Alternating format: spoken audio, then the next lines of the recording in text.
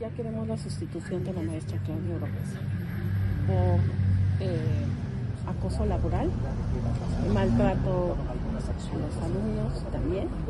Incluso hay una denuncia por parte de un alumno en derechos humanos. Entonces, como eso, bueno, pues hay muchas situaciones que, pero no hemos querido enfrentar. Desgraciadamente no hemos, no hemos querido. Hasta el día de hoy, este, ya,